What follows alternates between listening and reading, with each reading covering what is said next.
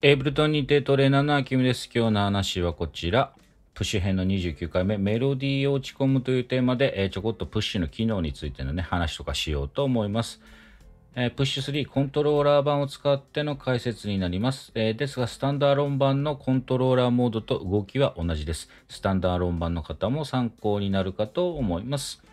えトピックスですね、えまず、ピッチベンドをオフという話をしておきます。で、パッドの感度ですね。で、スケールを使って、ちょこっと、メロディーを弾いてみようかと思います。で、最後に軽くまとめます。で、いきましょう。では、まず、ピッチベンドオフという話ですね。ピッチベンド、プッシュ3になって MP が搭載されて、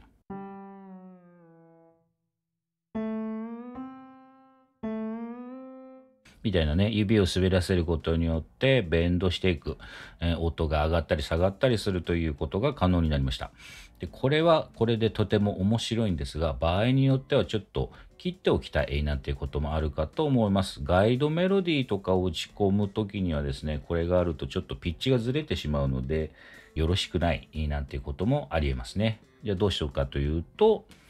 プッシュの左上、歯車ボタンを押して、ステータス、エクスプレッション、センシティビティなどが並んでいるので、エクスプレッションと書かれているディスプレイ直下ボタンを押します。で、ここでエクスプレッションモードに入れるので、 MPE とかね、選べるんですが、ノートピッチベンドという項目があるので、ここの上のつまみを回してオフにします。そうすると、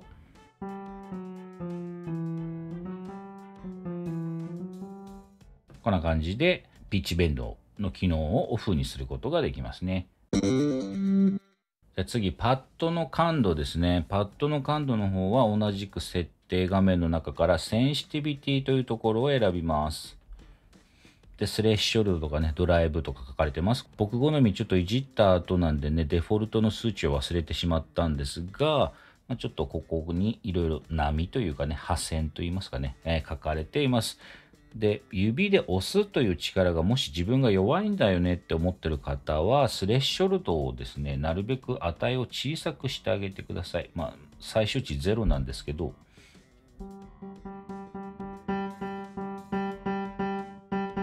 これでだいぶ楽になるんじゃないかなと思います。逆に数値をがっつり大きくしてあげると、相当強く叩かないと大きな音が出ないという仕組みになってます。あとドライブとかもね、あるんですけど、スレッショルドをなるべく小さく、ドライブは上げ目にすると、ちょっと演奏楽になるかなと思います。試してみてください。で、あとスケールの話をして、ちょこっと弾いてみたいと思うんですが、歯車ボタンを押して設定画面抜けます。で、スケールボタンを押します。で、今 G メジャーに設定されてますが、クロマチック表示になってるので、キーにない音、G メジャーのスケール上にない音も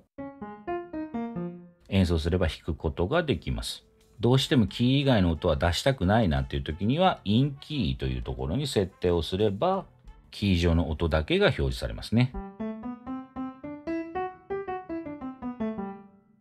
僕は基本クロマチックにしていますが、まあ、ここの辺はお好みですね。ライブパフォーマンスとかでどうしても間違っちゃいけないなんていう時にはインキーを使うかもしれません。僕は基本制作で使うので、クロマチックにすることが多いです。で、これでまあちょっと弾いてみましょうかね。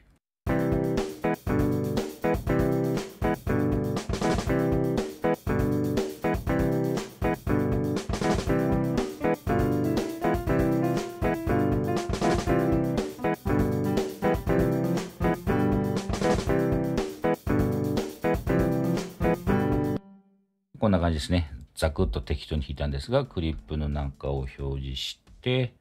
えー4小節にしたいので、えーループポジションを1小節目から、ループレングスを4小節目と。これで、まあいい感じかなと。ライブ側の画面で見てみると、こんな感じですね。これで、こうか。はい、これで聞いてみましょう。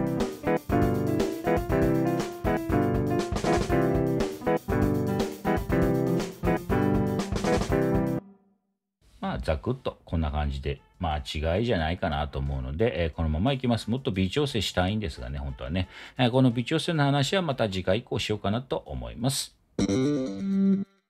で今回のまとめです。今回はプッシュのですね、エクスプレッションとセンシティビティという画面でプッシュの感度とかをね、調節する方法をお話ししました。え自分好みの設定っていうのもあると思うのでね、楽器、ギターやベースだって弦の高さね、弦高とか調整しますし、まあ、ピアノも自分好みのタッチのものを選ぶとかね、いろいろあると思います。えプッシュの方も自分好みの設定にすることにして、より自分だけのね、演奏のしやすさをちょっと求めてもらえたら、より制作とかね、演奏が楽しめるんじゃないかと思います。今日の話が役に立ったなと思ったらチャンネル登録、高評価、コメントとよろしくお願いします。励みになります。また次回以降、ライブやプッシュを使った話ですね。また、まあ次回はプッシュの話が続きますけど、お付き合いいただければと思います。では今日の話ここまでです。いよいよ音楽ライフを